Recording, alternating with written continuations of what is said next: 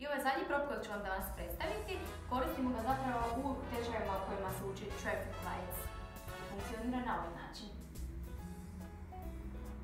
Stop.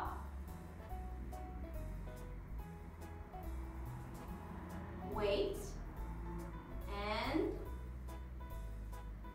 And go. Ovo su samo neke od propova koje mi koristimo na našoj nastavi, a da biste vidjeli kakve još propove imamo, možete nas posjetiti u školi.